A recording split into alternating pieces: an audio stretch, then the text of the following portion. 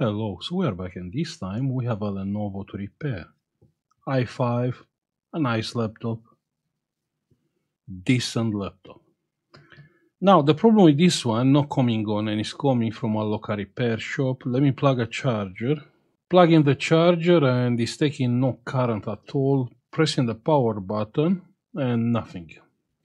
Doing nothing. Let's open the laptop quickly and let's have a look inside and the laptop is open. That's a nice motherboard. I mean, the motherboard has a seal. No one uh, took the board out. Not sure what is here. But let's unplug the battery and let's check the main power rail first. Can this be a easy pizza? Hopefully. Hopefully it's a easy pizza. So, main power rail uh, MOSFETs, capacitors, and the main power is not shorted. Capacitor, the main power is not shorted. No, no. Now let's plug the battery back and let's check the voltage on the main power rail.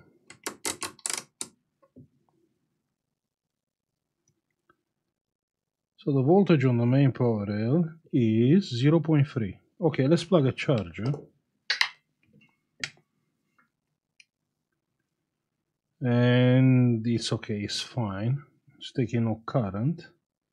And the voltage is zero. Zero volts on the main power rail. Okay let's come with the power supply. The battery has 7.6 8 point something. Let's push some current into the battery. The battery yeah check that 1.8 amps and it's charging. We have 6.7 on the other side, so the battery is very, very discharged. Okay, so we charge the battery a little bit. Still not taking any current. So the main power rail is 6.4. Very discharged battery. But the problem is why the laptop is not charging. Hmm? That's my question. So the main power is not shorted. We have to find our input uh, power input circuit. Yeah, we have to find the first MOSFET, second MOSFET, the power management chip, and probably that's the power management chip. Let's have a look. Yeah, that's the power management chip, the BQ chip. Now let's see what voltages do we have here. Here we have 8.5 and that's not fine. Now, let me explain you how this BQ chip is working. In order for the power management chip to be always under the power, uh, it's using a double diode. You can see double diode, and it's taking the voltage from one side from the battery 6.3 and from the other side from the main power rail 8.8 uh, okay okay sorry my power supply okay let's go to 19 now it's fine. So now we have 18 and like I, I said here is from the battery here is from the main power uh, from the charging port. So the, the BQ chip has the voltage but still not doing the job. So we really have to find the first and the second MOSFET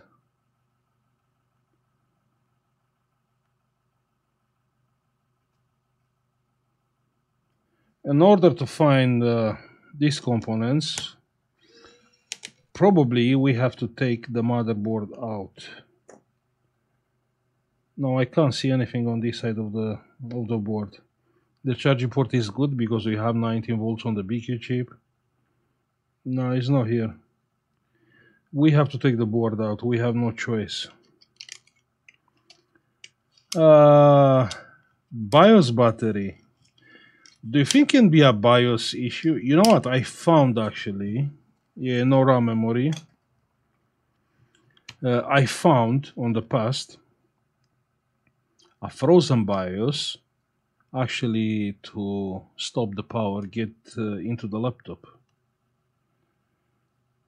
somehow acting uh, because the the power management chip is speaking with the EC chip.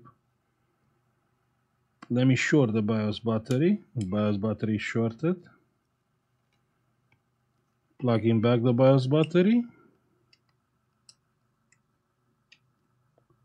Plugging back this battery. And still, it's taking no power, nothing. The fan is spinning, yeah. The fan is spinning probably because we reset the BIOS. And the laptop probably it will come on. Uh, okay, that's fine. That's okay. Let's take the board out because we really have to reach uh, the first and the second MOSFET. Yeah, everything is out, right? Yeah, it must be. We have that cable, the screen uh, cable. The board is untouched. Check here. Huh? Like brand new. So, I'm thinking the first and the second MOSFET has to be here. Check there. First and the second MOSFET. Let's leave the laptop on one side and let's focus on uh, on the input circuit. Okay, so I plug the charger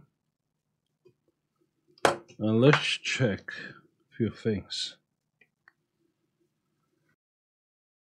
So the voltage is coming here, yeah? And we have 19. We have two inductors, then here is the first MOSFET. Then on the output of the first MOSFET, which is 0 volts, is coming to the second MOSFET and the current sensor. Then from here we have our main power rail. But at the output of the sec of the first MOSFET we have zero volts. And we have zero volts because on the gate we have zero volts, you can see. Now where the gate is connected? To the BQ power management chip, exactly. So uh, nothing. Okay, let's check something together. I will switch to the beeping mode. Because can be a reason why the BQ chip is not uh, outputting voltage to the MOSFET gate. Like the second MOSFET being shorted. Check that. Check on the screen. 11 ohms. So the BQ chip has a particularity MOSFET short circuit detection. So it's detecting a MOSFET is shorted and it will cut the power exactly on the first MOSFET. That's, uh, that's how the BQ chip is working, the power management chip. Yeah, 11 ohms. The MOSFET is shorted. Yeah, I will say let's quickly replace that MOSFET. What MOSFET it is? Uh, we can check the gates if the the gates are together. I have this gate with this gate. Yeah, it's a channel and MOSFET. Let's remove the MOSFET. And the MOSFET is removed. Now, I get the question on my videos, okay, sorry, but from where we are, from where we can get MOSFETs? I mean, you can get a MOSFET from anywhere. Like check here, we have a motherboard for spares and we can get a MOSFET basically like any MOSFET yeah let's remove a MOSFET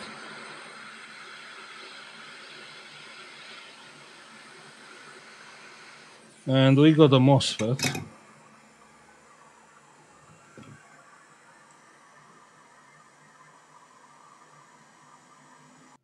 now pay attention on the MOSFET position and has to be like that. Good. Let's solder the MOSFET.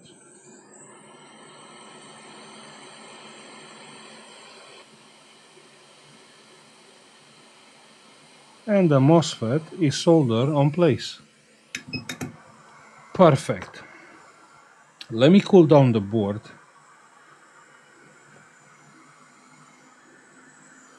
Just a little bit, then we can check.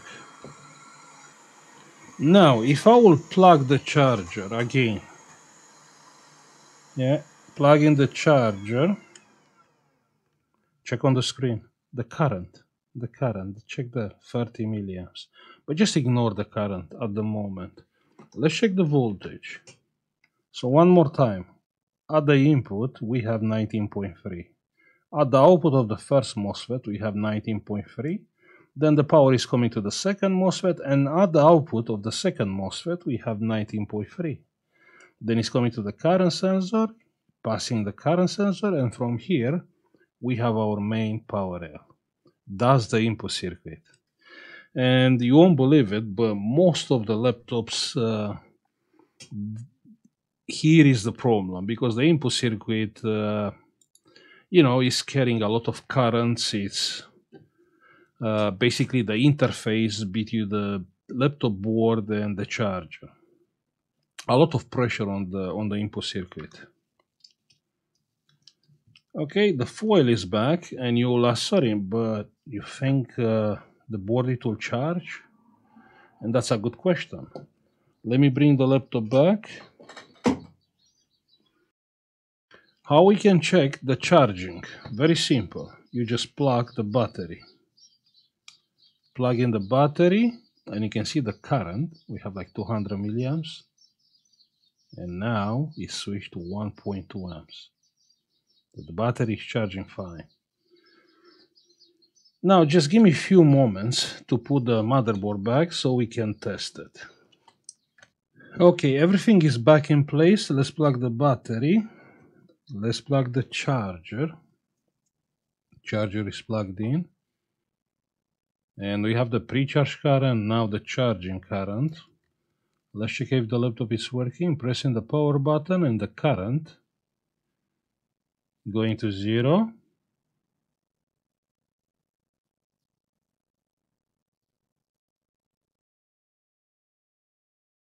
Why the current goes to zero? Oh, we reset the BIOS. Yeah, we reset the BIOS. 1.3 amps. Pressing the power button.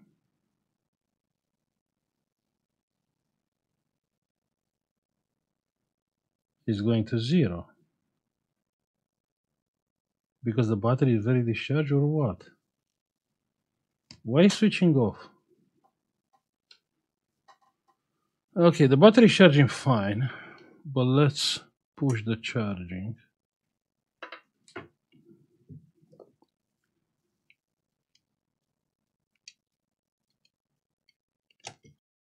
Let's charge the battery very quickly. 1.8 amps. Let's raise the current to 3 amps just to see if the laptop is working. Battery voltage is 7.5 and it's going up. Okay, let's try one more time. We push some current into the battery, switching to 19. Perfect. Plug in the charger and of course it's charging pressing the power button and it's taking like 2.2 amps check there 2.3 amps and now it's fine yeah that was the reason why it was uh, switching off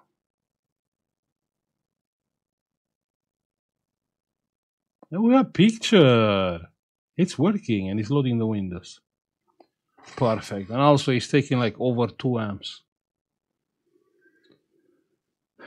This is a miracle. Check here. This laptop is working without RAM memory. Huh?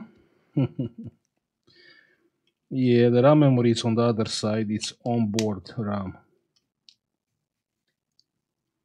It's taking like 3 amps and uh, everything seems to be fine. Okay, so hopefully you learn how to diagnose the, the power input circuit.